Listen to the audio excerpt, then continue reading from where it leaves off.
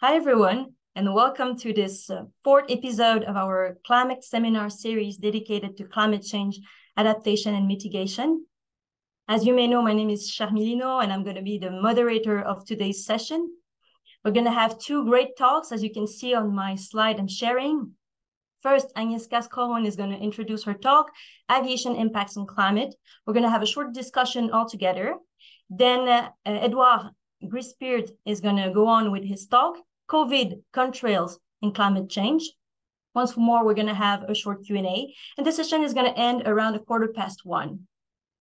As you can see, the two talks are going to be in English, but for French speakers, don't hesitate to write your questions in the chat in French or to ask your questions in French, and I'm going to be happy to translate them.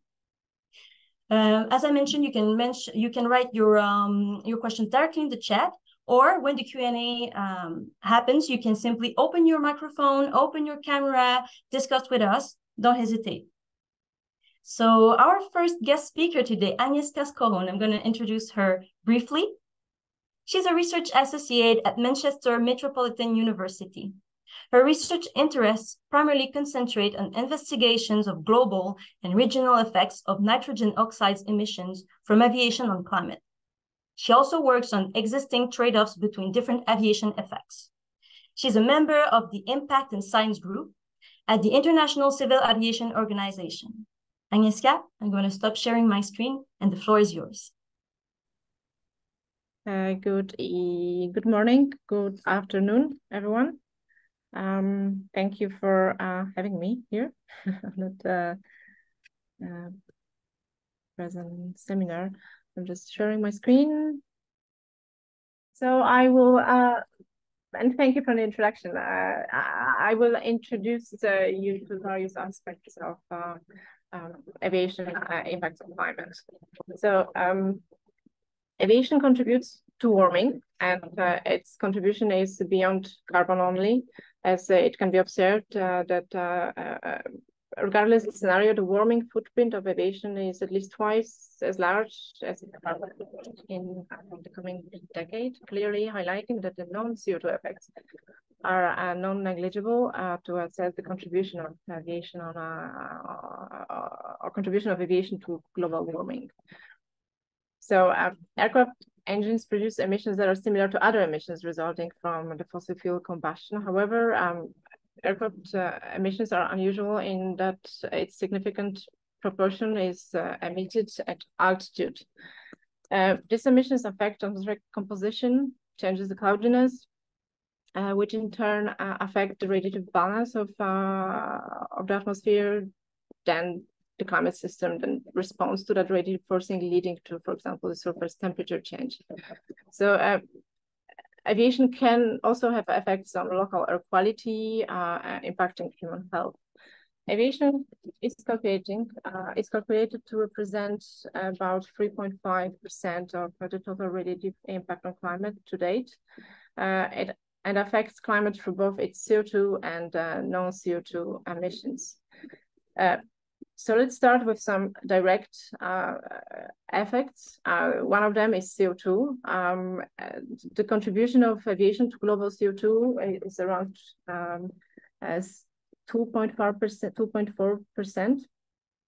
Uh, but uh, aviation CO2 accumulates in the atmosphere, so it provides, in the, in the end, it provides uh, the, the, vast part of the long-term warming from, from aviation. The other um, direct um, uh, emissions, direct uh, effects uh, belong to water vapor and aerosols. Um, water vapor um, is currently assessed to be small and the forcing is positive. Its importance increases with altitude, but let's concentrate on troposphere, upper troposphere only. Uh, the other emissions, notable CO2 emissions, are the sulfur dioxide that arises from the sulfur in the fuel, which oxidizes, oxidized, uh, which is oxidized to form uh, sulfate particles, and that results in negative radiative forcing.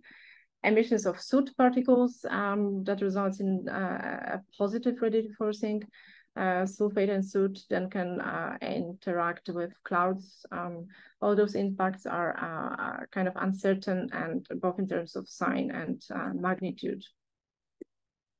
Going further, uh, we have, um, so from this initial emissions of water vapor and uh, condensing on co-emitted soot particles, in cold ice supersaturated region, regions of the atmosphere contrail cirrus, um, clouds are formed. Uh, contrails can persist, spread, and grow into a contrail cirrus uh, cloud coverage. Um, the relative effects vary strongly with uh, location, altitude, and time of emission. It varies from positive to negative. Um, but I will leave this uh, all aspects for, for, for, the next talk. I would just mention that um, uh, currently the, the, the, formation of contrail cirrus uh, uh, is currently understood to be the largest non-CO2 uh, effect from aviation. Uh, together uh, with uh, the effect on chemistry from uh, emissions of NOx. And here I will concentrate slightly more on on NOx. Um, so NOx, nitrogen oxide acts as an indirect cases. Um, the emission NOx from aircraft triggers a series of chemical reactions in the atmosphere um, that results in the formation of ozone, uh, a greenhouse gas, uh, and the destruction of methane, another greenhouse gas. Uh, in addition, methane change has further implications in the atmospheric composition. Uh, methane as a precursor of ozone, so is a precursor of ozone. So a decrease in methane due to aviation NOx emissions leads to a decrease in background ozone. Additionally, less methane enters the stratosphere where it's decomposed into carbon dioxide and water vapor. So eventually this reduces the stratospheric water vapor concentrations. Um, and since water vapor is a greenhouse gas, it reduces the climate warming as well. Further, there NOx emissions are also involved in the some aerosol reactions. So uh, with nitrates, so producing nitrates and sulfates, and those effects are associated with um, further uh, small cooling. Uh, altogether, if uh, you you gather all the aspects of contributors so the, based on current understanding, there is net NOx warming um, from aviation. Uh, net NOx effects are highly dependent, dependent on the state of the atmosphere into which NOx is emitted. Uh, these differences are that are that are are, are uh, led by latitudinal differences in solar flux, the background NOx levels, uh, the regional emissions of uh, the regional emissions, the the chemistry, uh, of hydrocarbons, etc. So equal NOx emissions in different regions can lead to quite different globally average net NOx changes depending on their temporal, geographical, vertical uh, location, and vice versa. Different size of uh, uh NOx emission under the same conditions uh, will lead to different net NOx changes. So it is a highly non-linear system. Mm. Looking, for example, at the vertical location, any change in the altitude of emissions will uh, uh, will affect the net NOx related forcing. Flying higher um, via more uh, efficient ozone production increases that NOx effect. Uh, the opposite happens if you fly uh, lower, and then the methane uh, destruction is more pronounced and that reduces the total net NOx um, uh, effect. Um, regarding the location, the, the intensity of uh, sunlight drives the photochemistry. Uh, the high temperatures affect the efficiency of uh, methane oxidation. So it all uh, means that uh, regarding the geographical location, emissions from low latitude have a larger radiative forcing than equal emissions uh, from mid latitude and generally more developed nations, which can be a complicated factor for uh, policymakers. Uh, another aspect um, is um, the background conditions. So contribution of uh, aircraft NOx to the formation of tropospheric ozone is only uh, one range, uh, one uh, of a range of anthrop anthropogenic sources, and other uh, emissions of carbon monoxide, methane, other emissions of NOx, uh, they all play a role in ozone formation. So the effect of an emission of aircraft NOx depends on other sources too. Uh, here, um, the net NOx aircraft forcing term was varied for the same aircraft emissions depending on the background conditions, on the background emissions. Um, and it was uh, observed that the, the predicted cleaner background here is the, the scenario RCP 2.6, that is the environmentally friendly uh, scenario, climate friendly scenario.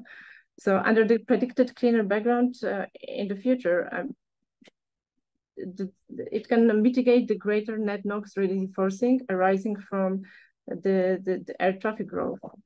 Uh, so uh, I guess it's worth highlighting that the cutting ground level emissions, air pollution serve not only air quality uh, improvements, but might also be uh, impact uh, aviation NOx. Um, So let's uh, come back to where we were at the beginning. So aviation uh, uh affects climate both with CO2 and non-CO2 emissions. Both are uh, very different in their nature, especially in terms of uh, they're in the atmosphere. Uh, CO2 once up there, once it's emitted, it basically stays there forever. In contrast to no CO2, which uh, effects uh, last as long as its uh, source exists. Um, so in order to let you imagine how um, what CO2 and non-CO2 means for climate, and to highlight that uh, uh, looking at the CO2 only is not enough, I, I drew a few hypothetical uh, scenarios. Let's start with the uh, scenarios, scenario business So the net NOx, so the net, not, uh, net non-CO2 effects of aviation currently represents approximately two two-thirds of the total radiative forcing of global aviation. Uh, this fraction is not fixed, but it is uh, dependent on the growth rate of aviation. So if global aviation activity uh, continue to increase, uh, the non-CO2 effects will continue to dominate the total radiative forcing. Um, let's have a zero emission scenario. So we are stop we stop flying from today. Uh, what will happen is uh, we would uh, observe uh, the, the CO2 um, uh, CO2 generally stays there uh, because uh, it's not emitted, but it also does not disappear. It does not go out, so it stays there um, the non-CO2 will disappear um, because of their short uh, time scale effects. So if we stop flying now, we would reverse some of that warming that happens today. If uh, we have a constant emission scenario, we would see that uh, the, the, the, the CO2 will increase because uh, the accumulative nature of CO2, uh, but the non-CO2 uh, will equilibrate but that still means uh, the, the total aviation impact will will continue warming. Uh, uh, I mean, the warming continues to increase over time. Um, so having, uh, imagining the reduced emission scenario, uh, we would see again CO2 will increase because even there's less CO2, but it's still there and it still build it, it, it builds up. Uh, but the non-CO2 uh, uh, effects will start to decrease. And that means that the total aviation impact, there is a chance for it to uh, to, to, to get constant.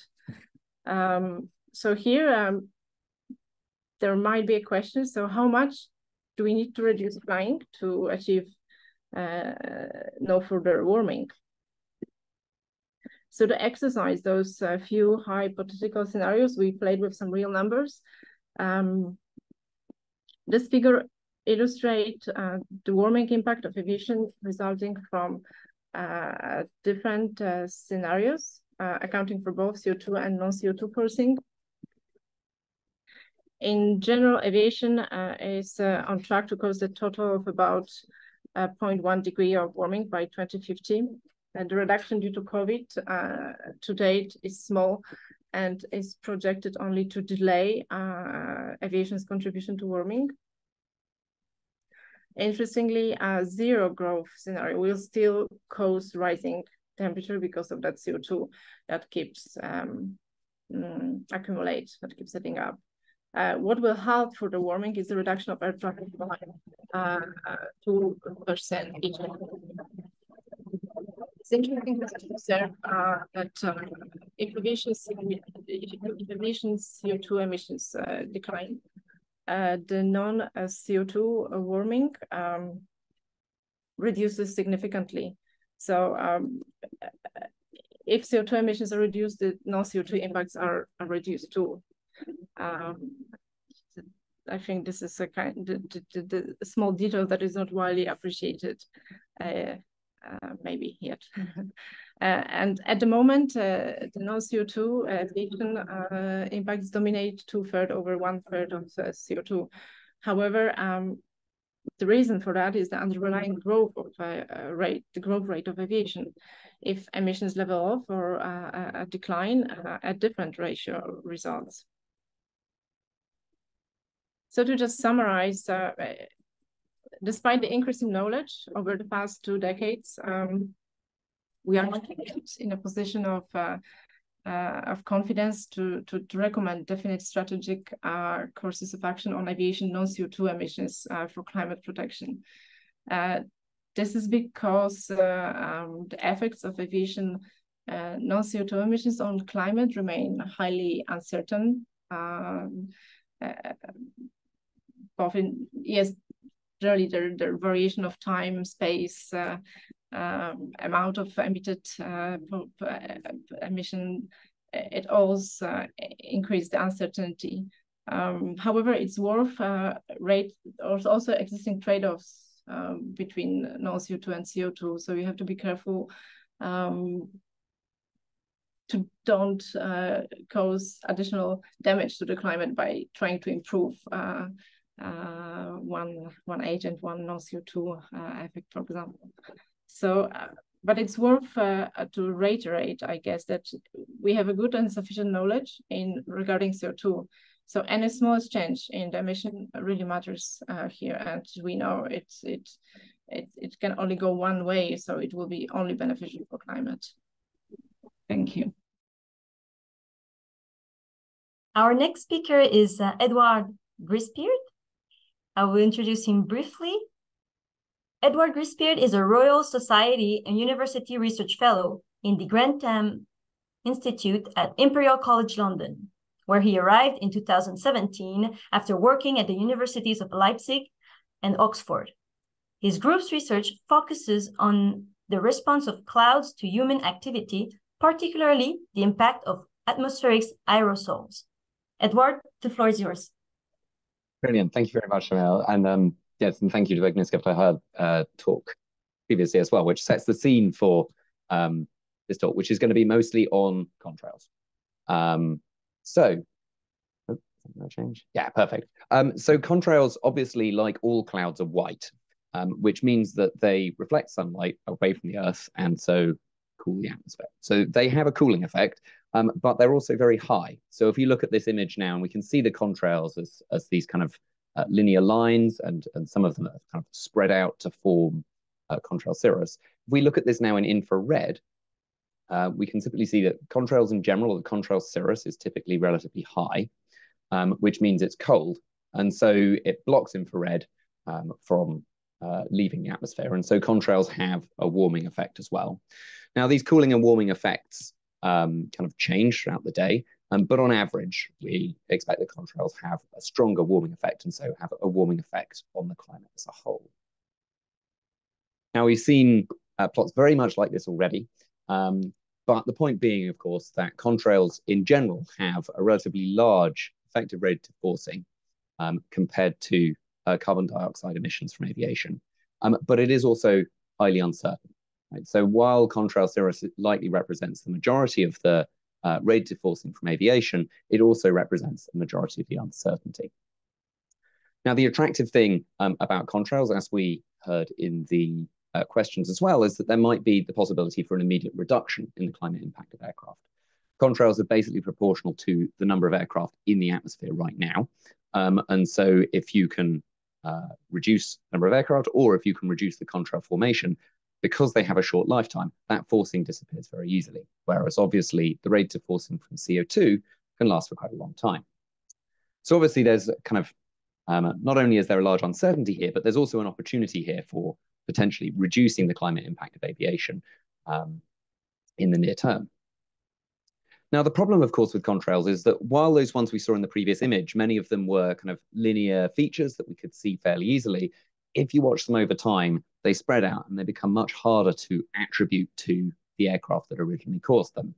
So this is from a, a paper in 2009. And if you look over the North Sea here, you can see uh, contrails in this image that's designed to pick out uh, contrail, uh, contrails. And you can see this kind of um, circular um, coil of contrails that's appeared over the North Sea, maybe from a, a military radar plane, for example. And as we track it over time, you can still see the kind of um, coil of contrails appearing there, but it gradually kind of blurs out. And if you looked at them in this last image here, it'd be very difficult to, to say, well, these, these clouds definitely came from aircraft. But as we wind back through time, you can see that at least some of it here was due to this aircraft. So obviously we have this issue of, of contrails forming, and they then form clouds that look very much like natural cirrus. So how could we tell those apart? How would we know what the effect of contrails on the climate is just from looking at them from satellite.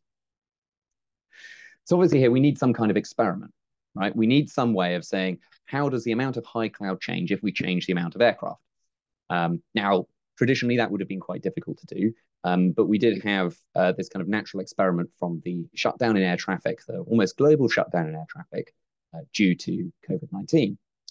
Um, and so we see in this uh, kind of plot of jet fuel consumption from 2020, uh, you can see kind of March, April kind of time, Europe, the United States, most of the rest of the world, um, there was a big decrease in the amount of jet fuel consumed, the amount of aircraft flying, um, particularly over places like the North Atlantic. Now, this gives us that ideal natural experiment where we can look at kind of what happens to high cloud if we change the number of aircraft in the atmosphere. And uh, kind of observational way then of understanding what the kind of total climate effect of contrails might be beyond just the kind of linear ones you can see easily in the satellite image. Now, we saw a large change in the kind of flight miles due to COVID, um, but it wasn't the same everywhere.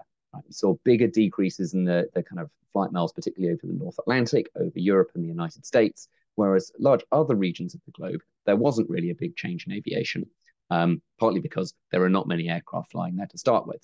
And we can use this to kind of help us understand what's going on. So if we look at now um, the in cloud between 2020 and the previous 10 years averaged together, we can kind of split that up into different regions. We can say how different was 20, the high cloud in 2020 uh, compared to the previous 10 years in regions where we had uh, very little change in aircraft and how different was it in regions where we had a big decrease in aircraft?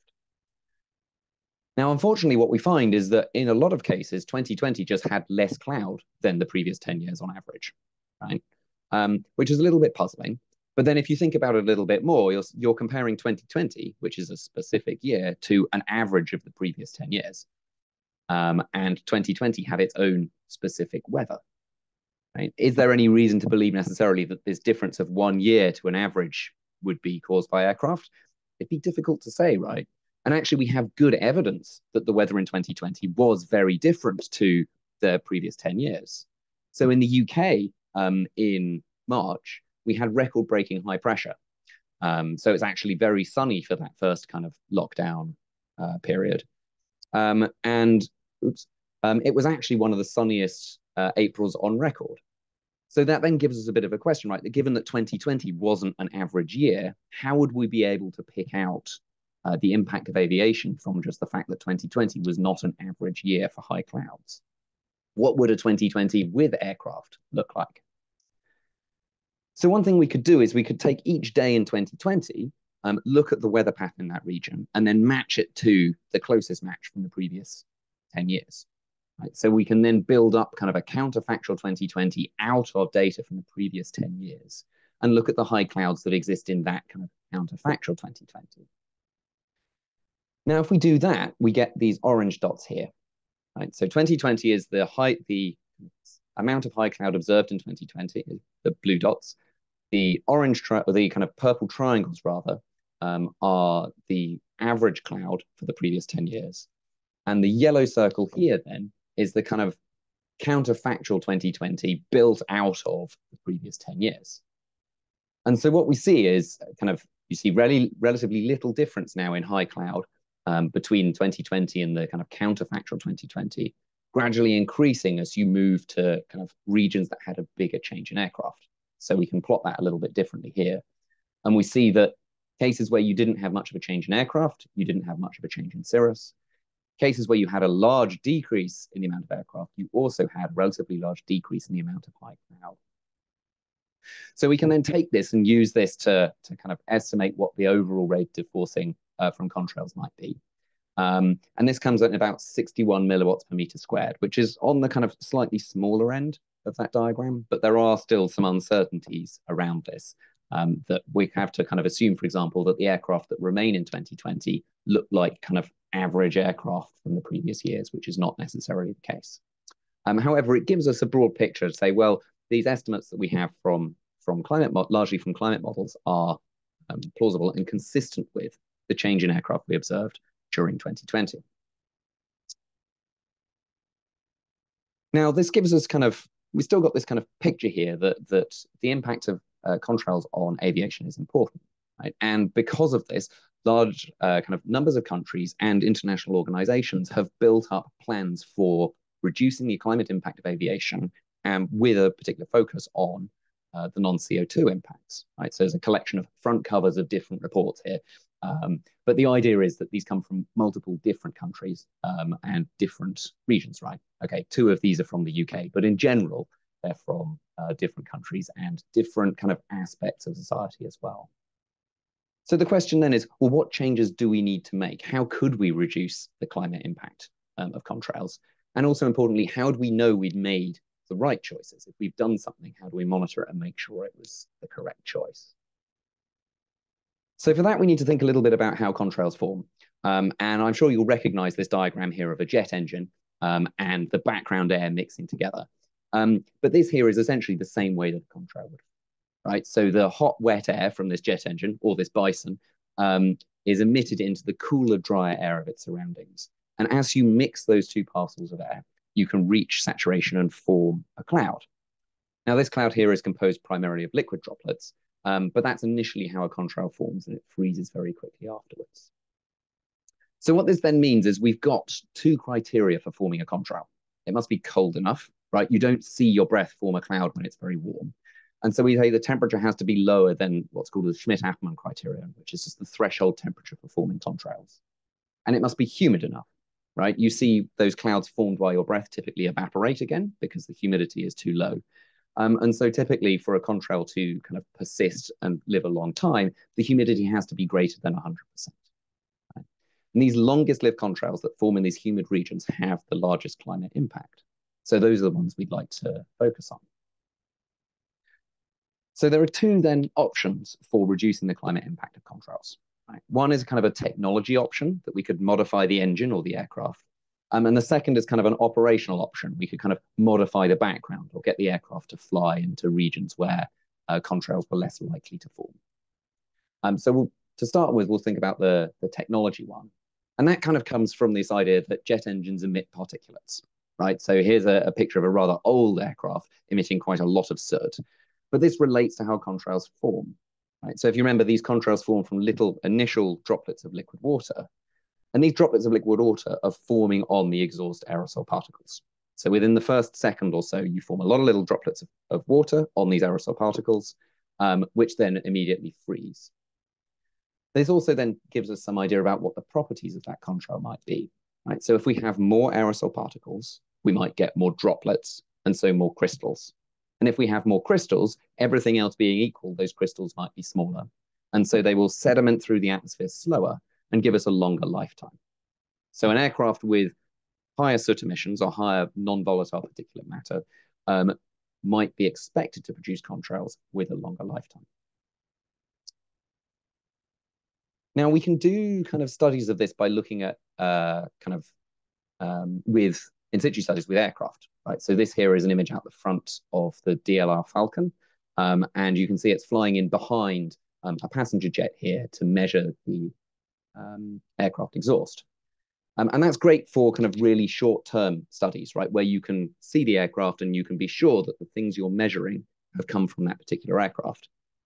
But this is difficult if you're thinking about the kind of longer lived contrails. Right? Finding that contrail several hours later with an aircraft is quite tricky. But those longer lived contrails have the largest climate impact. So really we'd like some way of being able to tie that together. Um, and one thing we can do here is to use satellites.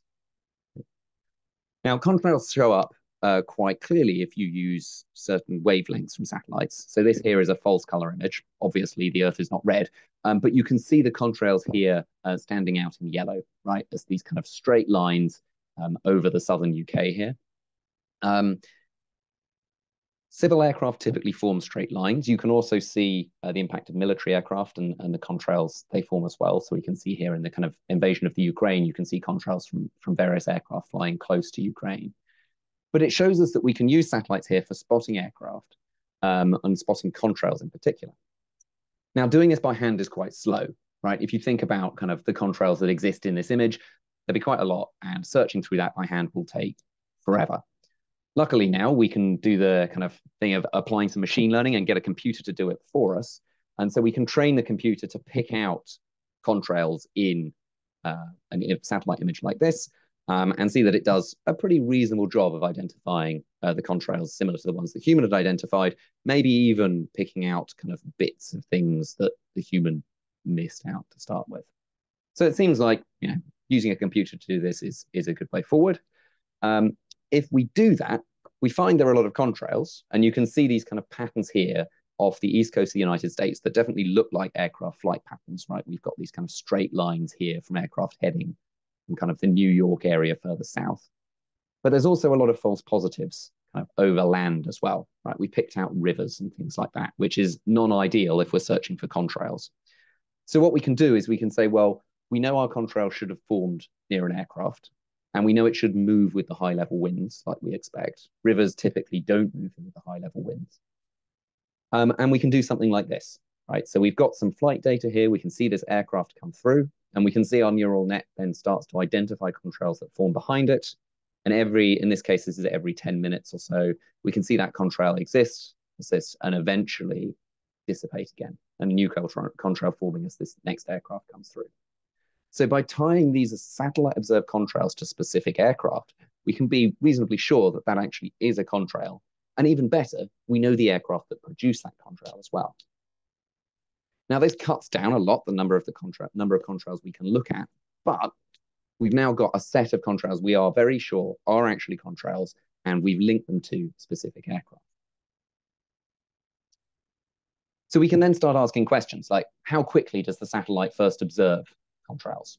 And so if we look at the kind of time to initial visibility of a, a contrail in these satellite images, we see they start to appear about 10 minutes behind the passage of the aircraft right? So the, the satellite can't see the contrails immediately as they're formed, but it can see them within about 10, 15 minutes or so. And that's that's fine, right? It, we've still got this ability to tie them to the aircraft. Um, and what we really care about is kind of how long they live rather than how quickly they form.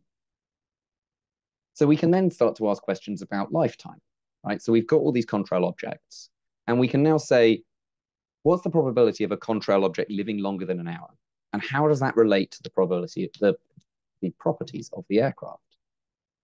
So first, what we can do is we can look at the relationship of contrail lifetime or the probability of that contrail object living longer than an hour and relate it to uh, the particulate matter emitted by the aircraft. So these aircraft on the right typically emit more particles, more soot, and the ones on the left are typically cleaner. And what we see, unfortunately, is that actually, as we kind of move to cleaner condition, uh, move to cleaner conditions, we seem to find contrails living longer. the, the dirtier aircraft form contrails that that kind of dissipate faster and less likely to live longer than an hour. Um, the more efficient aircraft, typically the same ones that have cleaner burning engines, um, produce longer lived contrails as well. Um, this is exactly opposite from what we would expect given um, so we've got this uh, idea that that more soot pollution leads to a shorter lifetime of contrails, and this is exactly the opposite of what we expect from modeling studies. Right, so this here is um, this bottom axis here is the, the aerosol emissions from the aircraft or the NVPM emissions, and you can see that the model projects that as you kind of have more soot emissions, you should get longer lived contrails. So there's clearly something going on here um, that we're not quite understanding properly. Um, but even if we just look at kind of not the contrails that match the specific aircraft, but just how often aircraft tracks intersect with contrails, we see the same old same thing, right? So a very old aircraft type with an average age of 25 years produces, or it's it kind of you see contrails about one percent of the time behind that aircraft, um, whereas a much more modern, newer, advanced aircraft with an average age of five years produces contrails maybe 50% as much, and that live typically much longer as well. So we then got this kind of trade-off, right? This newer aircraft is more fuel efficient, so it's got less climate warming from CO2, but it produces contrails more frequently, which leads to more climate warming from non-CO2 effects. So there's this kind of trade-off there. Um, and it's apparently suggesting newer aircraft are worse for the climate. In practice, though, that's not the real story. Turns out we do actually understand uh, kind of how ice clouds work, at least partly. And the reason for this is that the newer aircraft fly in different parts of the atmosphere. So these plots are uh, relatively complicated, but um, they're important to understand what's going on. And so this here is showing for each of these aircraft types, so type A, which is the older aircraft, type B, which is the newer, more efficient aircraft, and then business aircraft as well. It's showing how cold their contrails are relative to formation temp threshold temperature for contrails right? So this zero here is the temperature below which we expect contrails to start to form. And we see type A, the older aircraft, typically flies close to that formation threshold or forms contrails close to it. Whereas type B here, the more efficient aircraft, is forming contrails that are a lot colder than the formation threshold temperature. This is because it's flying higher. One of the things, one of the ways to become more efficient is to fly higher. Um, and so that's how type B flies. Now, producing colder contrails means those contrails have different properties. Right? Some of you, if you've kind of looked at clouds before, these kind of diagrams might be familiar. Um, if you haven't, I'm sorry, I will try and explain them. Um, but essentially what's happening here is these are three different environmental conditions. Right? And these lines here are showing kind of what happens when an aircraft is flying through the atmosphere. So the aircraft is way up on the top of the right here somewhere, emitting relatively warm, relatively wet air because it's the output from the engine. And as it mix with, mixes with the environment, you travel along one of these lines. So either the dotted line or the dashed line. Um, and as you travel along this line, if you move into this white region here, then you can form a contrail, right? So this uh, kind of solid line here just touches that line. And any environment that's warmer than that, you won't form a contrail. So this dashed line could be equivalent to, say, our Type A, our older aircraft, and this dotted line may be our Type B. Now, as you move further into this white region, you achieve a higher saturation, and so more of your soot particles can become ice crystals. So broadly, what we expect is that as you move further to the right, which is the colder the contrail, the more ice crystals you have in the contrail. And if you remember back to this idea that you have more ice crystals, those ice crystals are on average smaller because you're sharing out the same amount of water for all these uh, crystals. And smaller ice crystal will fall slower through the atmosphere, and so might be expect you might expect contrails to live longer. So what we're seeing here is that the colder ice, the colder kind of um, flights of these aircraft producing contrails with more and smaller ice crystals, which means they last longer. Now, there's a little bit of evidence um, that you might be seeing improvements from NVPM, but for that, I think it'll have to wait for another talk. So, in summary, then, contrails, as we've talked about in both these talks, are one of the largest components of the aviation climate impact. um, which makes them ideal for a rapid reduction in climate forcing because their lifetime is only a few days. But the size of this warming is really uncertain. The COVID-induced shutdown in air traffic gave us this kind of experiment into to air traffic and its impact on uh, the climate and showed us that there was a significant impact of aviation in the amount of high-level cloud and suggested that contrails uh, kind of in total are about 2% of the anthropogenic forcing of the climate. And we've also seen that if you look at specific aircraft, more efficient aircraft are forming longer lived contrails.